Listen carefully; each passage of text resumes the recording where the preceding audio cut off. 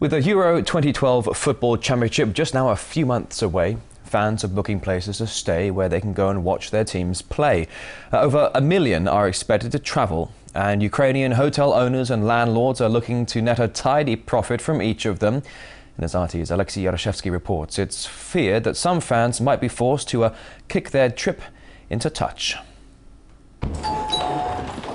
Пожалуйста, здравствуйте. The Euro 2012 football championship has not even begun in Ukraine, but this Kiev pensioner is already in high spirits. Я как осень нежеланный. Tamara believes this summer's tournament is her last real chance to earn some money.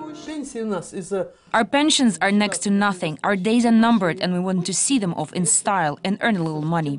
That's why we will let a room in our flat to football fans. We'll start at $50 a night, depending on who stays here, but the price could go higher.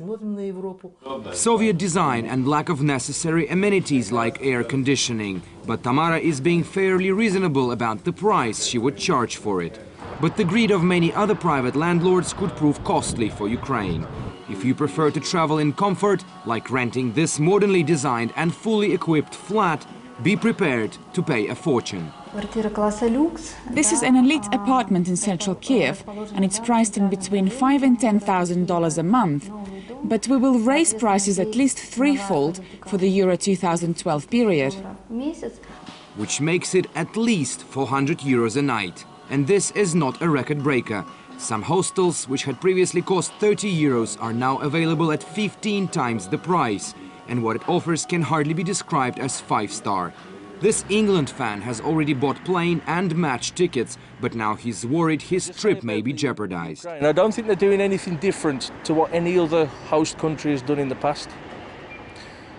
Accommodation prices do rise, travel prices do rise. It's just the lack of available accommodation. Very expensive. Most of them university dormitories. Sure, you can stop in a tent, but for a reasonable, just a hotel, bed and breakfast type place, I think we're going to get absolutely stung. Skyrocketing prices urged UEFA to send a stern warning to Ukraine's government, which promised to take action. Hotels have a risk of ending up half empty.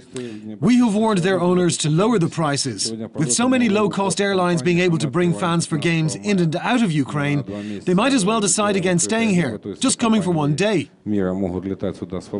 Accommodation prices usually hit the ceiling ahead of a big event, and London will not be an exception during this summer's Olympics. But in the case of Ukraine, the gap between the price and the quality is vast, and there's a great risk private landlords could end up profitless.